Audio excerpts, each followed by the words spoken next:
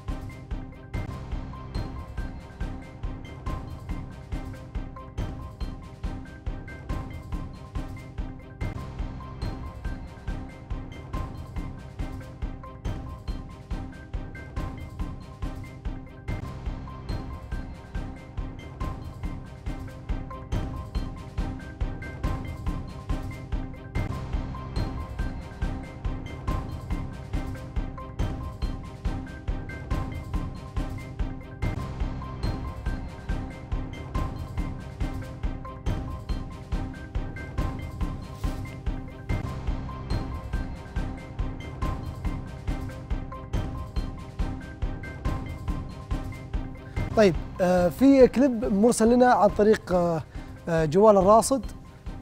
شباب مصورين هذه المقاطع ومرسلينها لنا. خلينا نشوفها ونرجع.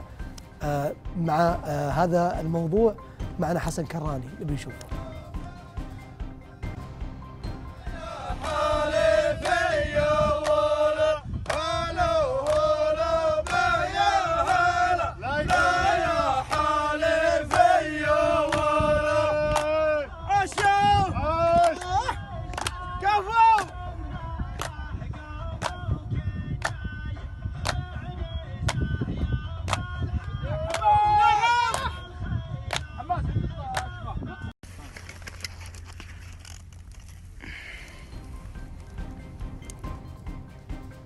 ينضم لنا في استديوهاتنا بجدة الأستاذ حسن كراني أخصائي الطقس والمذيع السابق للنشرات الجوية اللي يتشرف أنه يكون معي موجود اليوم. أهلا أستاذ حسن. يا هلا وسهلا. يعطيك العافية. الله يعافيك. لا زلت شبابا يا سيدي. الله يكرمك من فضلك ومن فضل الله سبحانه وتعالى اولا وأخيرا. طيب توقعاتك للطقس في الأيام القادمة واللي حاصل في أجواء المملكة؟ والله التوقعات كما أسلفنا يعني في التويتر على أساس إنه توالي درجات الحرارة ارتفاع تدريجي اعتبارا من 14 ديسمبر. مم. وكلما اتجهنا في اتجاه 25 ديسمبر.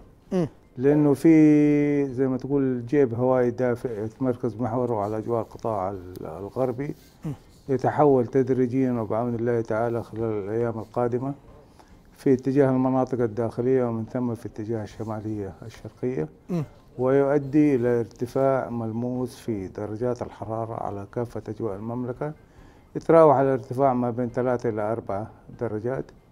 مع احتمالية تكون سحابي يستمر بين التكون والتلاشي على معظم أجواء المملكة مم. خاصة على أجواء منطقة جدة وكلما اتجهنا جنوبا في اتجاه منطقة جازان وعلى أجواء ال- الشمالية الغربية والأطراف الشمالية للمنطقة مم. الوسطى والأطراف الشمالية والشمالية الغربية لمنطقة القصيم.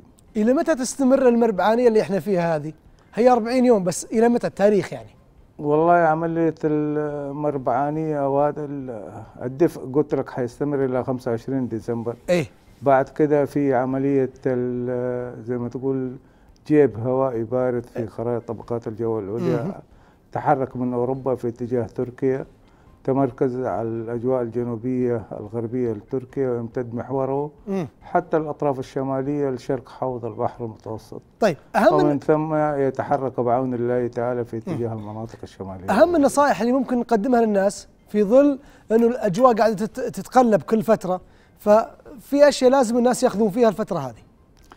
والله الفترة يجب على جميع المجتمع أنه يتبعوا الإرشادات الطبية في مثل هذه الحالات وأتمنى لهم إنه يكونوا على أحسن حال بعون الله تعالى. جزاك الله خير. شكرا جزيلا لك أستاذنا حسن كراني. يعطيك العافية. أنا شاكر ومقدر لك وجودك وتواجدك وألف شكر يا سيدي.